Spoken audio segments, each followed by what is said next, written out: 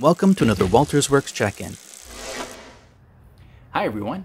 In today's check-in, I'll be covering my progress from Michael the Tiki Bird, who now has a stand and an improved paint job. Let's take a look. To create the look of bamboo for the handle and the base, I primed some PVC pipes and hand painted them in several washes of yellows and browns to give them an aged look. Once I had all the pipes painted, I was able to drill the holes where needed and assemble them into the wooden base and glue them in place. I used some rope and some glass beads to decorate the base and the nameplate.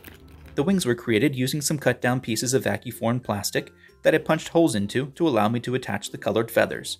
Each wing got about 35 feathers.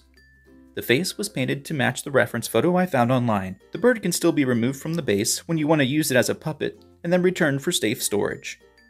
That's all for now.